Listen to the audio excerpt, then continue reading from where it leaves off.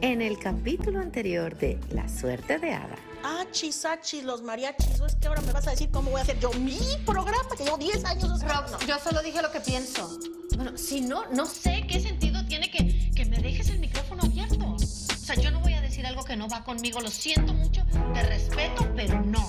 No lo voy a hacer. Háblale a la mano. Uy, te lo dije, te lo dije. Sabía que le iba a agarrar por el cuello y no la iba a soltar. Bienvenidos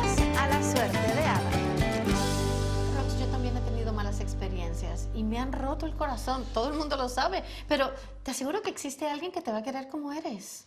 No, pues sí, tienes razón, mira. Para ejemplo, basta un botón.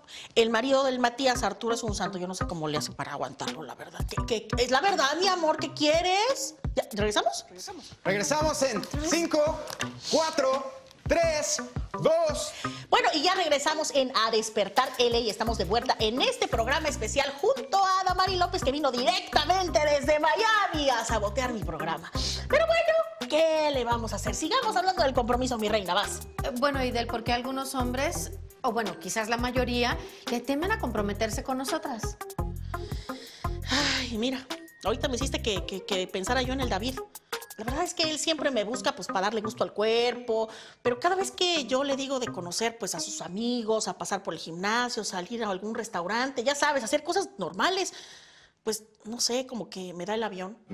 Ada, ¿tú crees que, que sea por cómo luzco, por mi peso? No, eso no debería importarle, Rox. Si él te quiere, te tiene que aceptar con tus kilos de más.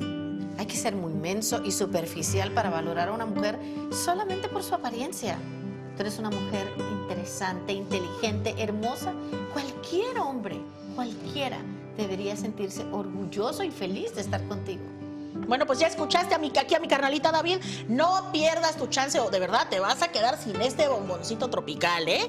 Oigan, y ahora sí, creo que, bueno, es tiempo de escucharlos a ustedes. Vamos a abrir las líneas para que nos cuenten sus experiencias de, de- los hombres y los hombres que le temen al compromiso. Bueno, vamos a dejar aquí afuera al esposo de Adamari porque luego no me vais a decir que yo meto a todos los hombres en el mismo costal. Así que ábreme las líneas, púchales a Cahuil. ¿Aló?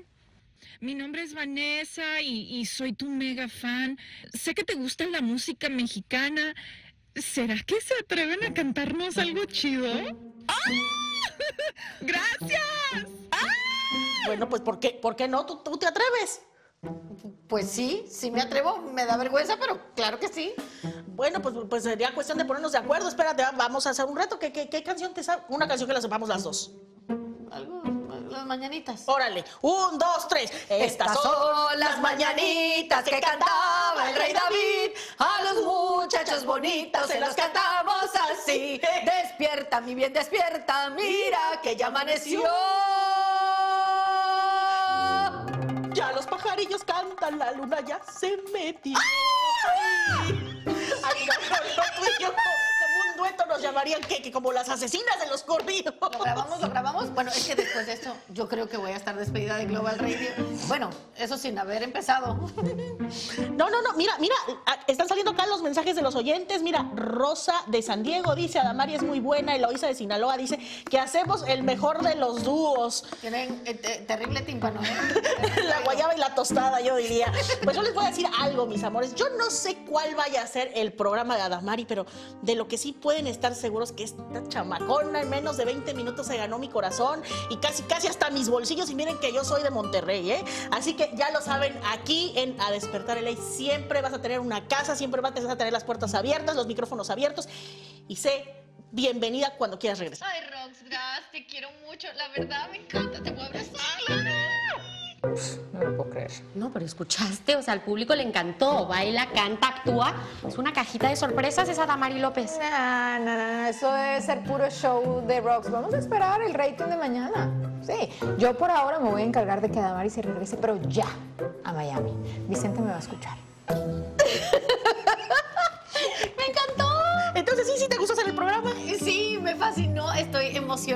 Además me, me siento más segura haciéndolo. Gracias por esta experiencia. Me ayudaste un chorro. Nada, cuando quieras, eres bienvenida aquí, ya lo sabes. Yo, yo siento que, que tú y yo nos conocemos como desde hace más de 10 Ay, años. te quiero abrazar. Es que yo siento que, que es una suerte estar aquí y compartir contigo. Ay. Te admiro, te quiero, me encanta. Sí, la verdad es que sí. La suertuda eres tú, mamacita. Qué suerte la tuya. Oye, este, vámonos para allá para ver cómo, cómo quedó el rating.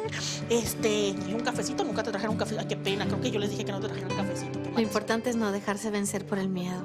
Al final, bueno, de todas las experiencias se aprende algo. Y hasta podrías hacer buenos amigos en el camino.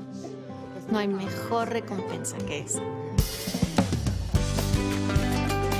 Esto es un avance del próximo episodio de La Suerte de Ada. Tú no te das cuenta de la cantidad de problemas que me puede traer ella, ¿verdad? Mira, ahorita la verdad no tengo tiempo y no, no estoy de humor para Ah, hablar pues saca el tiempo y el humor de donde no lo tienes, lo siento, pero yo quiero que ella se vaya de aquí hoy mismo, ¿ok?